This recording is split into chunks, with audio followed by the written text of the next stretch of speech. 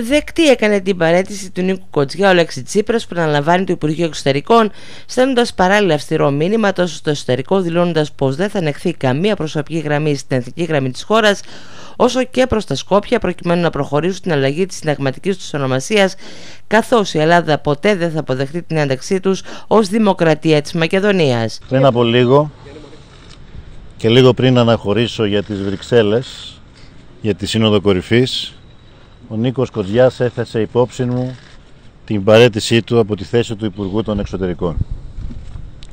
Με πόνο καρδιάς έκανα δεκτή την παρέτησή του. Θέλω να τον ευχαριστήσω θερμά και ειλικρινώς για την πολύτιμη συμβολή του τα 3,5 αυτά χρόνια στην ε, αναβάθμιση του γεωπολιτικού ρόλου της χώρας, την πολύτιμη συμβολή του στην κοινή μας προσπάθεια αποφάσισα εγώ ο ίδιος να αναλάβω το Υπουργείο των Εξωτερικών το επόμενο διάστημα και την ευθύνη του. Δίνοντας ταυτόχρονα και ένα μήνυμα ότι η επιλογή μου αυτή είναι επιλογή που σηματοδοτεί την αποφασιστικότητά μου να κάνω ό,τι περνάει από το χέρι μου και να διασφαλίσω την επιτυχή ολοκλήρωση της ιστορικής συμφωνίας των Πρεσπών που αναβαθμίζει τον διεθνή ρόλο της χώρας. Η απόφαση να αποδεχτώ την παρέτηση Κοντζιά αλλά και η απόφασή μου να αναλάβω εγώ ο ίδιος το Υπουργείο των Εξωτερικών το επόμενο διάστημα είναι όμως και μια απόφαση με πολλαπλά μηνύματα τόσο προς το εξωτερικό όσο και προς το εσωτερικό και προς την κυβέρνησή μου θα έλεγα. Σηματοδοτεί την απόφασή μου να μην ανεκτώ από εδώ και στο εξής.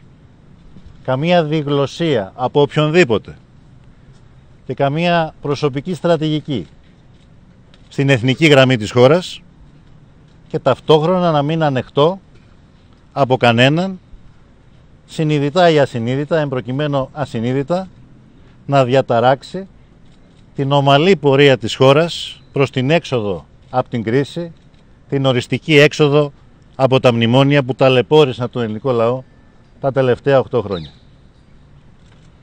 Θέλω ταυτόχρονα να στείλω και ένα μήνυμα στους γείτονές μας που αυτές τις μέρες έχουν τις δικές τους διαδικασίες όπως προβλέπονται από το Σύνταγμα προκειμένου να προχωρήσουν στη συνταγματική αλλαγή, στην αλλαγή της συνταγματικής τους ονομασίας όπως προβλέπει η Συμφωνία των Πρεσπών.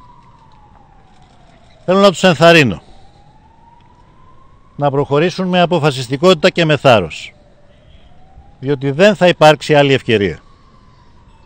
Η Ελλάδα, θέλω να το, να το δηλώσω για άλλη μια φορά, δεν πρόκειται ποτέ να αποδεκτεί την ένταξη της γειτονικής μας χώρας σε οποιαδήποτε διεθνή οργανισμό που η ίδια συμμετέχει προκειμένου στην Ευρωπαϊκή Ένωση ή το ΝΑΤΟ με συνταγματική ονομασία που θα λέγεται Δημοκρατία της Μακεδονίας.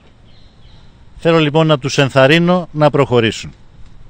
Θα είναι ένα αποφασιστικό βήμα στην ε, ολοκλήρωση μιας ιστορικής συμφωνίας για την ειρήνη και τη σταθερότητα στα Βαλκάνια. Και θέλω να τους διαβεβαιώσω ότι η Ελλάδα και η κυβέρνησή μου θα κάνει αυτό που πρέπει και αυτό που ορίζουν οι διεθνείς της υποχρεώσεις. Μέσω Twitter αποφάσισε να κάνει την πρώτη τοποθέτηση μετά την χειρή παρέτηση του Νίκος Γκοτσιά, αφήνοντας εχμέ για τον Πρωθυπουργό και το υπόλοιπο Υπουργικό Συμβούλιο. Ο Υπουργός Εξωτερικών επέλεξε να χρησιμοποιήσει στίχους του Διονύση Σαββόπουλου και του Ντίνου Χριστιανόπουλου στο tweet του. Έρχεται η στιγμή, λέει ο ποιητής, να αποφασίσεις με ποιους θα πας και ποιους θα αφήσεις. Ο Πρωθυπουργός και σειρά υπουργών έκαναν στο χθεσινό Υπουργικό Συμβούλιο τις επιλογές τους και εγώ κατόπιν τις δικές μου. Είναι καλό να θυμούνται όμως το στίχο Βαθιά να με θάψουν θέλησαν, ξέχασαν ότι είμαι σπόρος, έγραψε χαρακτηριστικά ο πρώην Υπουργός Εξωτερικών.